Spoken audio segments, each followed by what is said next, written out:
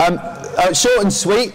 Um, we're going to talk a little bit about kids tennis. Most people know where we're at with it. It's a bit of an update for some of you and for others. Um, uh, just, just some sort of reminders and flags on a few things. Um, I'm just, just, just going to try and keep it as interactive as possible because it's after lunch, which means everyone goes into that. Uh, so you have um, one role, and that is to make sure the person next to you doesn't snore if they fall asleep. Yeah, so just elbow like that's the maneuver you need to use. If they start going, you just that's the one there, and bring them right back to earth. Right? If you feel yourself going, this is the technique. You go, you go here, here, here. All right. you Just have to be a little bit more careful while you're driving. All right. So let's start with a question. We are all coaches in sport. We're all coaches in tennis. Where does sport come from? Where did sport start? Tell the person next to you where you think sport started. Okay? Interesting question, isn't it, really? You'll see where it's going in a minute. Where did sport start?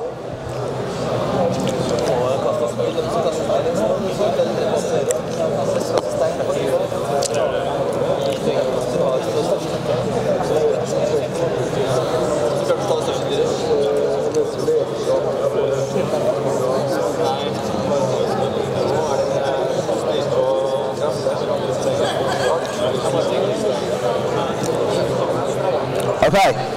All right. Anyone got any good answers?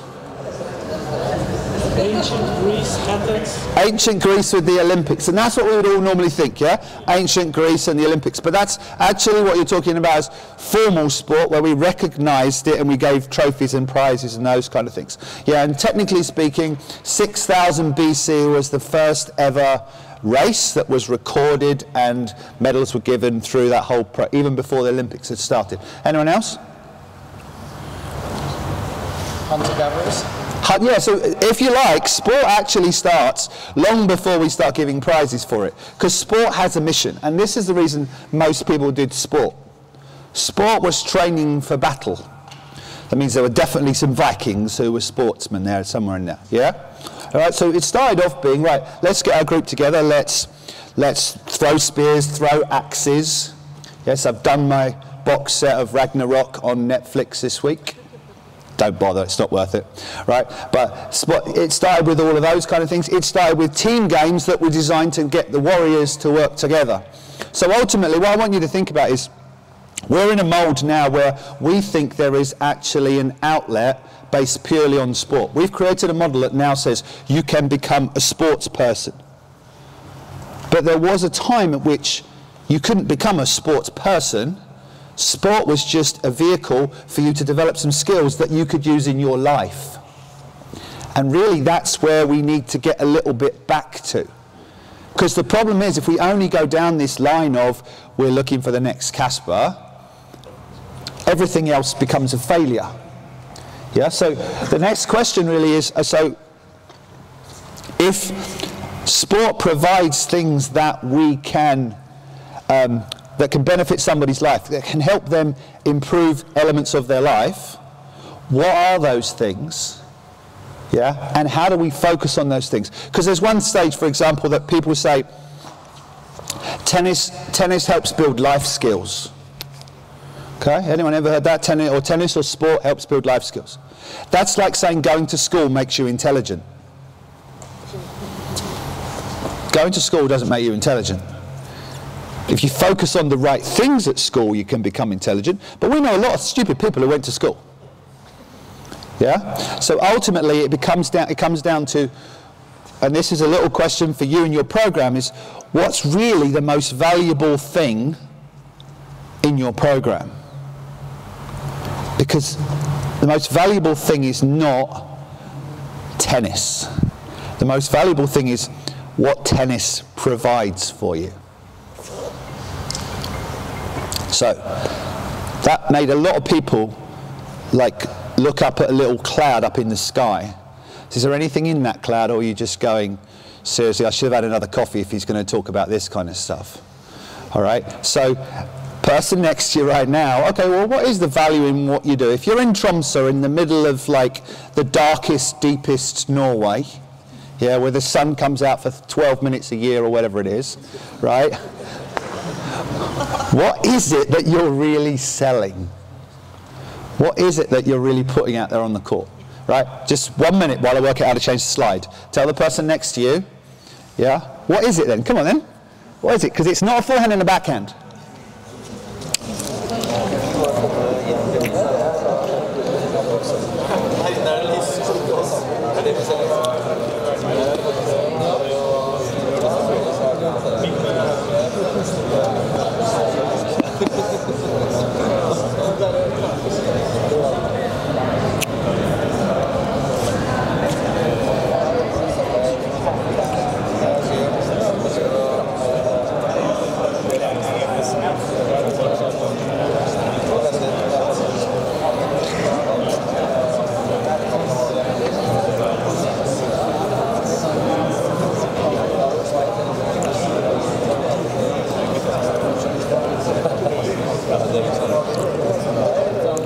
Okay, all right. So, any answer longer than 30 seconds long is not worth it, so we'll just move on. Um, now, I'm willing to wholly, openly admit, sorry, by the way, I've got a cold, so I'm trying to not cough all the way through this presentation. I'm wholly, openly admit that's not the reason I got into this.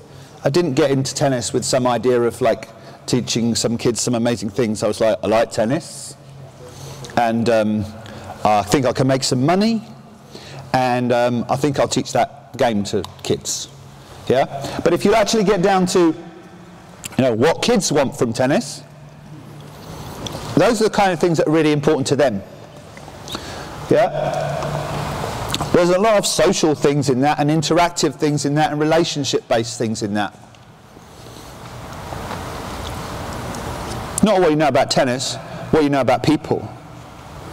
And interestingly, we know that, and one of the big questions we have now in Norway is how can we create a model where the kids that come into tennis kids continue to play tennis in their teenage years? And one of those things is competence. Because what we also know is that most kids at 10 years old are actively engaged in five different activities. They do five different things. One of them might be with their thumbs, yeah, but they do five different things. But by the time we get to 13, for on average, obviously, there's no such thing as a half a thing, but they've halved the number of different activities they do. Because competence is hugely important to your social identity. And now everybody knows if you're good at something or if you're not good at something. Because we have this false world around us called social media. And you know what social media presents. Social media presents a world in which everybody else's life is better than yours. Because you never post a picture of you looking like crap on social media. My girlfriend, wherever we go, we have to take pictures. I'm never in her social media profile. I still haven't quite worked out that one out yet. She travels the world apparently without me, although I'm always there taking pictures. Not quite sure how this works. But the average number of pictures I have to take before I get approval for one is 52. No, no, no, no, no, no, no. Do all that again. No, no, no. Oh, that one might be okay, but hold on, let's do another set. Right? Do you see what I'm saying? So basically, one of the interesting things for us is now, if you are seen to be incompetent or not perfect or not great at something, you never post that. And so whenever you look at anyone else's profile, in their world, they always look like they're having a better time than you are. And so competence becomes a huge thing. Relationships become a huge thing. And if we want, we want kids to stay in tennis, they have to feel like tennis is one of their things. Tennis is one of their things. Yeah? So what makes somebody good at tennis? How would you judge your program? What does success look like? If, I, if you said to me, you have a good kids tennis program, why do you have a good kids tennis program? What's good about it? Tell the person next to you. 30 seconds is all you get. Go.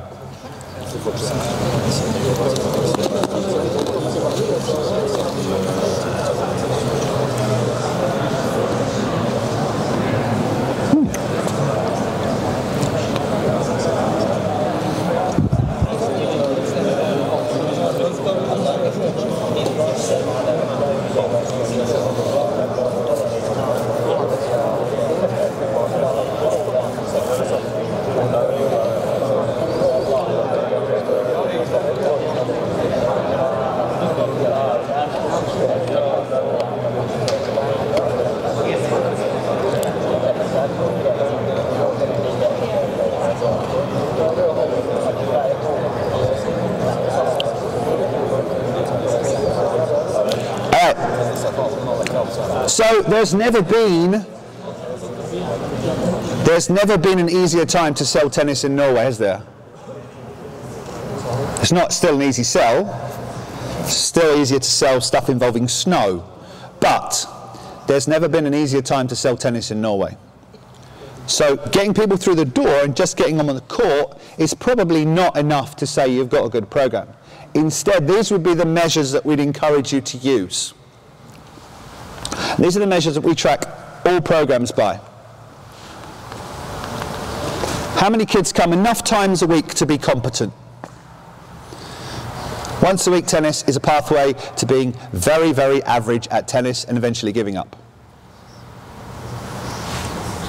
Reality. Okay? Doesn't matter what it is music, art, language, sport, stripping if Bill's still here. If you only do it once a week, you're not going to get good at it. Okay? All right? So, somewhere along the line, you have to do it enough. So, a kid is a kid if they come to the tennis club at least a couple of times a week, because that's just enough to get the snowball rolling down the hill. A kid who's committed wants to play beyond a lesson. So they want to play some kind of tournament or some kind of event, whatever that is. And if you put something on, they want to come to it. In other words, there's a level of commitment to what they do. Okay? And because of that, they do enough, they have a goal, and they make progress. Pretty simple equation, really. Yeah? And because of that, they don't give up. Because we don't give up the things that we're competent at. So Bill threw in the word fun in his presentation, but some of you will know that I don't like the word fun because I think it's a cop out. People use it to mean a sugar rush fun should be fun. if fun has a level of competence attached to it, it's good, solid, healthy fun. We like the things we're good at. You're involved in tennis because it's something you feel you're competent at. And if you can equate that same kind of thing to kids' tennis, look at that profile of that kid. The kid comes several times a week, right? They play in tournaments, they're making progress in your program. They're not going to go anywhere especially if they're in Tromsø. They can't go anywhere. There's nowhere to go. Yeah? All right? They're not going to go anywhere. So ultimately, if you start measuring your program, whether it's healthy or not, it's not how many people you've got coming through the door and how much money you made. It's are they doing those things? And how many more kids, out of all the kids you have, can you get to do those things? Pretty simple equation. And we know that traditionally where we've got to in our program at this point is tennis kids started as tennis school and it started with the tour, but we have to move way beyond this idea of it's about the tour and actually get down to we have to deliver better lessons, we have to communicate better with parents, we have to meet these kids' social needs. When you have friends, you don't leave. Yeah, I got two deals this year with professional tennis players because they're Manchester United fans. No joke. I'm a Manchester United fan. Most people from London are actually Manchester United fans because it's nowhere near London, basically. That's what all Manchester United fans are like. Most Manchester United fans have never been to Manchester. Okay? And these two professional tennis players, after we had a nice conversation, we started talking about soccer and they told me they're Manchester United fans. And we're Man- I'm a Manchester United fan and boom, I have a contract. Quite interesting how you have an affinity to people on all kinds of different levels. Yeah? Because social is about connecting. Do you remember, uh, remember, remember, remember Carlos's presentation from last year, the definition of the word club? People that are like me. Yeah, people that are like me. So it's basically just getting people to connect and belong. And then the other thing we have to do better of is we have to organise um, much better opportunities to play within our club environment. We can't depend on competition as being kick the bird out the nest and experience it the first time on the tour. So right now we're at this stage where we still have to be better at all of those kind of areas and we still have room for improvement. That's what our workshop on Sunday is going to be about for those of you coming now. we're going to focus on those kind of areas. And we're moving away from this is what the tour is all about because I think everybody knows that already. And within those spaces, I want to just give you a real, a few quick slides to look at an overview of where you're at because there is a bit of a challenge. Um, the challenge is that we look at a program and we expect the program to do the job. The program is simply the car. Yep. So I like this analogy that a good program has a great car, a great map, and a great driver. And if one of those three things is missing, you're not going to hit your destination. So if you have a great map, you've got no idea where you're going. Sorry, you haven't got a great map, you've got no idea where. If you haven't got a great car, you struggle to get there. And if the driver's really bad, yeah, it would be like, you know, Volvo saying every Norwegian on the planet gets a Volvo tomorrow. Sounds like a great idea, except if they gave one to everyone, even if they can't drive, you'd drive down the street and you'd see loads of crashed Volvos, which granted is the safest car in the world to crash in, but you would then go, they're probably not a great car. So ultimately, our program gets judged not just based on what we can deliver in terms of resources, but also the quality of you as a driver and what your attention to detail is. And that map even, if we start looking at that and where that's at, that might need a little bit of a rethink. Because traditionally we look at our map as being based around lessons. How many of this level kid have I got? How many of this level kid have I got? But actually, if we really think about it, if we go back to what's a healthy program, it should be we have a skill progression because that shows the kids are improving. We have a competitive progression where we have kids who are gradually wanting to do more and more and more and more. We have kids who experience tennis in the club, love it. Okay, I want to do the next thing. Okay, go and play the tour. Right, love it. Want to do the next thing. Okay, go and play national championships. Want to do the next thing. And we're looking at that as much as a pathway. And also, you know that this year we're talking a lot about behaviors. And behaviors are really, really important because behaviors are the thing that everybody can control. So if Lance and I both turn up at the tennis club on the same day, age six years old, and Lance has two older brothers who've beaten him up, thrown him down the stairs, thrown things at his head, done all these general things that make you a better athlete. Okay? He's more athletic. Whereas my mum decided, poor little Mikey needs to sit on the sofa because he might fall over and cut his knee, watch some TV. It's not my fault that I'm a fat little blob who has no athletic skills. And it's not Lance's fault that he's athletic. So somewhere along the line, if we reward and recognize behaviors, we can both be successful. And it sounds a bit cliche, but ultimately by starting to look beyond skills and starting to understand that if we actually recognize and reward our four core behaviors, we'll touch on it in a bit, then everyone can be successful and feel like they're making a progression and feel like they're accepted and respected and they belong.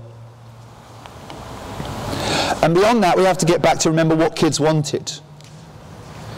Because that map has to make sure that I not only become more competent, because I'll enjoy it more, but I also become socially better. So I make friends. Yeah. And within that, gradually, I develop all the other skills that I needed that sport was originally intended to teach me. I had a conversation the other day with a parent in the US and she said, uh, yeah, I want my kid to be a professional tennis player. And I said, well, would you settle for them being a CEO of a company? She went, what?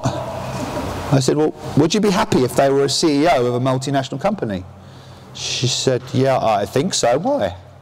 I said, well, if you want to be a professional tennis player or you want to be a CEO of a company, actually, it's the same set of attributes that you really need.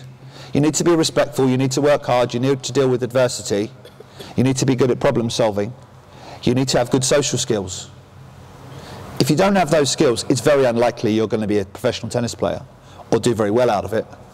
But guess what? If we focus on those skills, if we focus on those areas, you can get those things from being involved in tennis. And therefore, if you don't make it on the tour, you might just end up being a CEO of a company because you have those skills.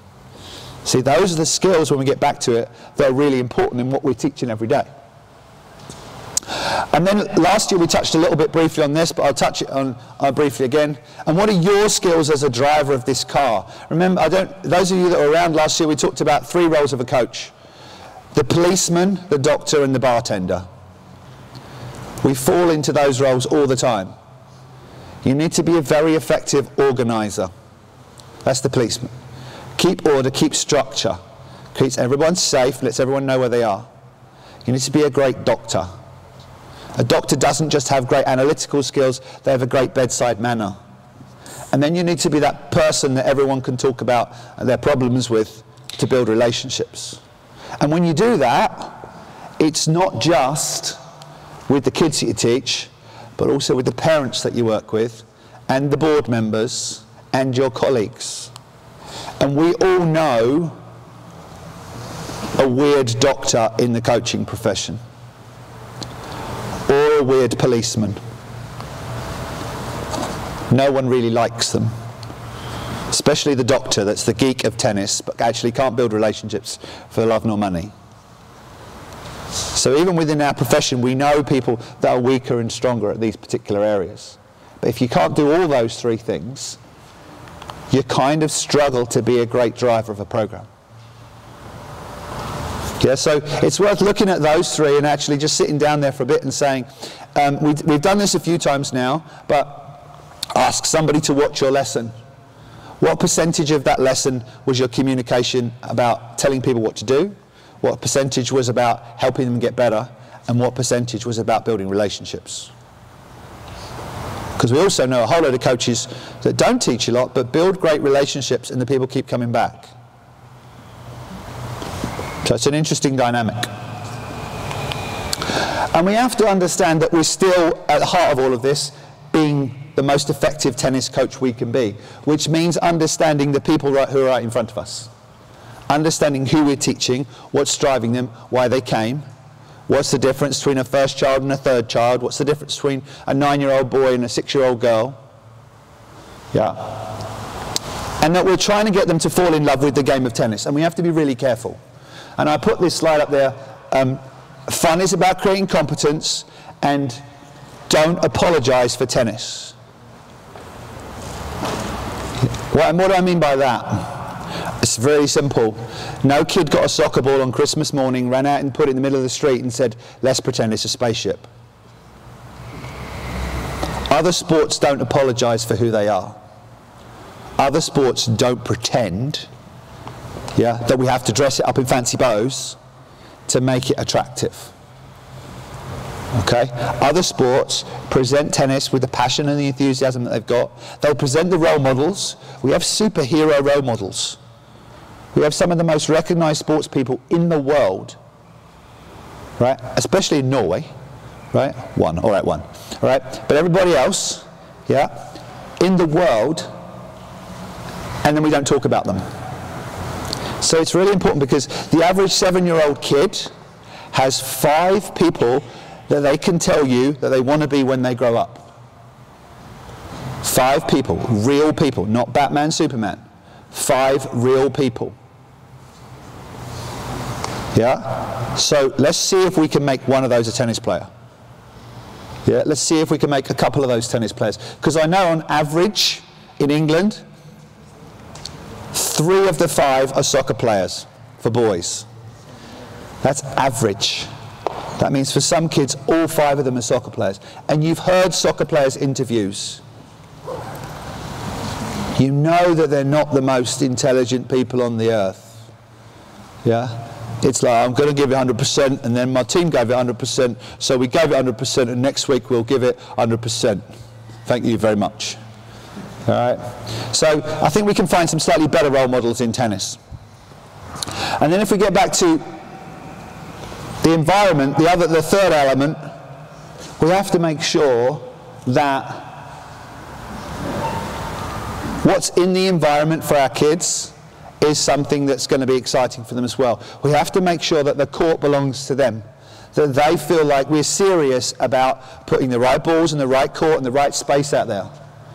We, we'll, we have to make sure that we recognize the achievements that they've made.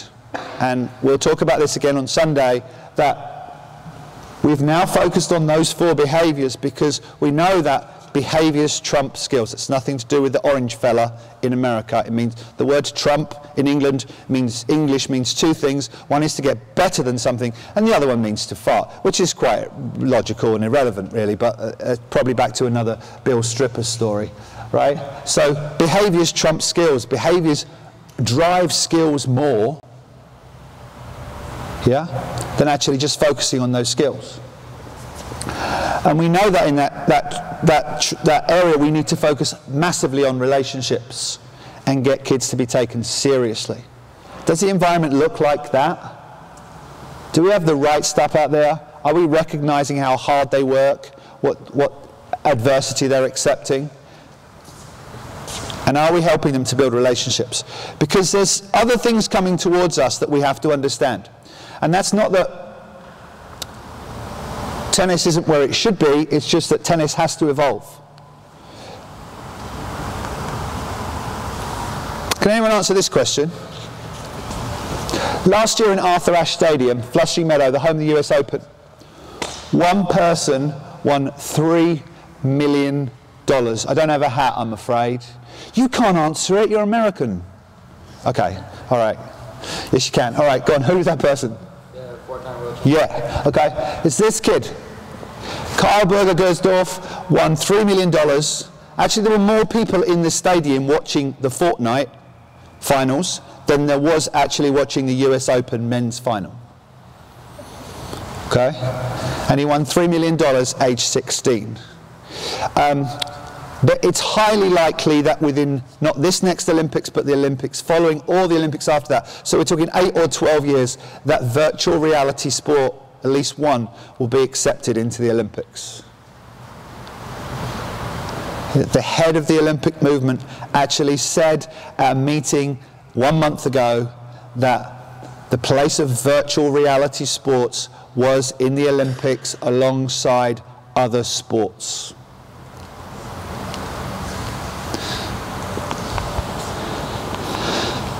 So it's interesting what an industry that creates $135 billion a year. Tennis is worth about six, right? $135 billion a year could teach us. Those are all things that we can steal and use because those things all relate to how we motivate people. And let me be really clear. I'm not saying we should all go away and spend a week watching Fortnite and create a Fortnite tennis lesson. A Fortnite tennis lesson will simply be a much more inferior version of Fortnite. Yeah, what I am saying is that the people that design these games understand these factors. They understand that people get to choose a level at which they want to enter at. They get incremental rewards as they go along that most of the time, and this is a really interesting one, that failures get ignored. If you get shot or killed, what do you do? Push the button, go again. No one cares. Okay? The only thing that actually gets recognized is when you hit certain milestones. Yeah. When you're rewarded. Okay? And the other big thing is a lot of this stuff is about creating community. A lot of the online stuff that we now experience, everything from Peloton now. Who can think of a more stupid thing in the world than Peloton? Sitting on a bike in your living room, riding a bike. But now if you connect picture of people all around the world, Peloton just became the unicorn in the room. It now became this must do thing this exciting simply because it created a community behind what we're doing. So one of the interesting things if we go back to why do people get into sport? What do they really need? Yeah. They want to connect with other people. They want to belong. They want to be part of your club. They want to belong to your club. They want to be recognized in your club. They want you to actually know who they are when they walk through the door. They want to know that their friends are there. And that becomes a big part of your job, not just teaching tennis. Yeah, and As we've already said on social media, social media is amazing for us. It's a communication tool, but also it's incredibly difficult to grow up in a world of social media where everybody judges you. Yeah? Where actually everything you do is under a microscope. So feeling like you're safe and in a place where you're more competent is key. And we get right back to what are fundamental human needs. These kids still want to make friends, want to be listened to, want to be respected and acknowledged, yeah, and want to feel competent. They want to feel that, they want to say things like, instead of saying, I do tennis lessons, they want to say, I'm a tennis player. And that's so much more important for us, the way we think, than that one hour you gave that one lesson to that one group of eight kids. So if we're to actually continue to move forwards in one of the things we're doing, we need you to be the drivers that you potentially can be. We need you to actually understand that you're doing a hell of a lot more than teaching a forehand or a backhand. And if you do do a hell of a lot more than teaching a forehand and backhand, we will keep people in the program.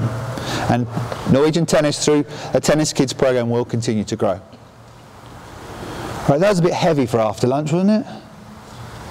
Okay, so um, please remember those will be our focuses moving forwards in the next year. Yeah, we're not going to spend a lot more time focusing on the tour. It's delivering better lessons. It's helping you engage more kids. It's helping you engage more with the parents, and it's helping you to provide a lot more opportunities to do more than just take lessons and play the tour. Thanks for your time, and we'll see you on uh, Sunday. Those of you that are coming. All right. Thank you.